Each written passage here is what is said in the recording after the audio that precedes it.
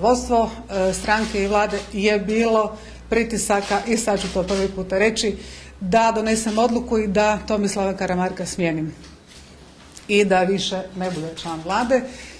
Dakako vjerojatno i zbog njegovog profila, njegove biografije i zbog toga što je bilo dosta onih koji su se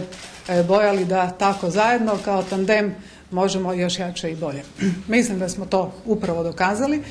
i mislim da naša beskompromisna borba protiv korupcije i kriminala koji je širom otvorio HDZ i kojem je ili borbi kojoj je puni zamah dao HDZ koji vodim u potpori svojih kolega, članova predsjedništva, vodstva stranke, dakle da je taj zamah uplašio mnoge. I to je jedan od razloga zbog kojih smo danas suočeni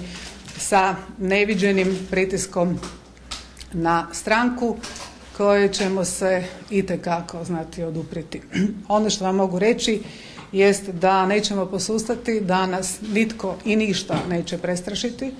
i da ćemo još snažnije i odlučnije biti u borbi protiv korupcije, protiv kriminala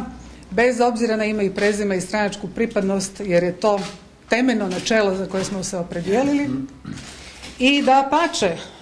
nastojat ćemo dodatno osnažiti neovisne institucije i dapače dodatno ćemo tražiti da se provode i poštuju svi zakoni pa i oni o neovlaštenom curenju informacija iz državnih tijela odnosno neovlaštenom curenju informacija u procesima koji nisu završeni odnosno u procesima u kojima itekako još uvijek ima što reći i Državno odvjetništvo